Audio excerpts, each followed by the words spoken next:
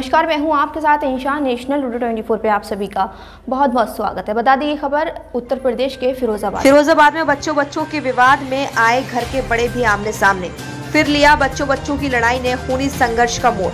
पूरा मामला जनपद फिरोजाबाद के थाना रामगढ़ क्षेत्र मक्का कॉलोनी गली नंबर पाँच का है, जहाँ पर बच्चों बच्चों के विवाद में बड़े भी आमने सामने आ गए और जमकर मारपीट हुई खूनी संघर्ष हुआ, जिसमें घायलों को फिरोजाबाद के सरकारी अस्पताल में इलाज के लिए भर्ती कराया गया है। घायल खुशनुमा, परवीन, शबीना और हादी हसन, नेहा, अब्दुल हसन हैं।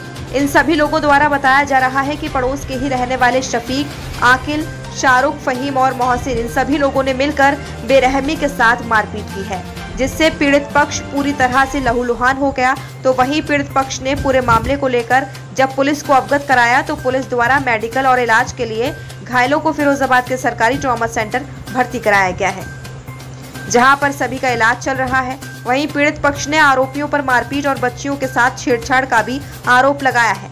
मामला पुलिस के संज्ञान में पीड़ित पक्ष द्वारा लाया गया। रिपोर्ट देखिए काशिफ हुसैन के साथ। सबीना क्या हुआ सबीना जी आपके साथ? मेरा छोटा बच्चा है पाँच साल का। हाँ। उनके बच्चे मेरे बच्चों को मार रहे थे। अच्छा। मैं अपने बच्चों को मार के घर पे ले आई। हम्म, उनके बच्चे मुझसे बदतमीजी करने लगे। तो उसके घर वाले आए उसकी पप्पो उप्पो दादी आदि चच्चा अच्छा सब रहे उन बच्चों के। उन लोगों ने मुझे मारा पकड़ के। मेरे घर पे कोई आदमी नहीं थे। अच्छा। मेरी लड़कियाँ थी मेरी लड़कियाँ कूदी हैं बीच में। हम्म, मेरी लड़कियाँ दुकान में खड़ी थी पहले। दो लड़कियाँ दो मेरी कूद पड़ी थी मुझे बचाने के लिए।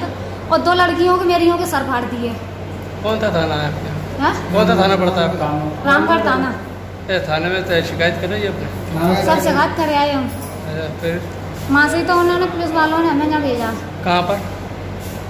कहाँ भेजा? रामा सेंटर। हादी हसन। आदि असल क्या हुआ है आपके साथ? मैं नहीं पता थी। मैं तो बाहर था।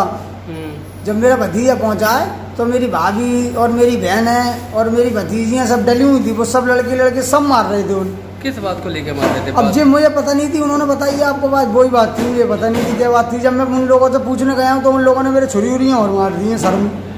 कौन लोग हैं वो? भाई वे पड़ोसी हैं हमारे। अच्छा कितने लोग थे वो? वो लोग थे अजी पाँच छः पाँच पाँच छः लोग थे वो लोग। अच्छा। पाँच छः लोग थे उन लोगों ने सबने मारा पकड़ के। हमें और हमारे घर में कोई था नहीं। भाई लड़के कोई होते तो फिर हो जाती बराबर से।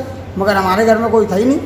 वे लड़कियाँ लड़कियाँ थी हम थे वो चार पाँच और हम अकेले क्या कर लेते भैया उसमें?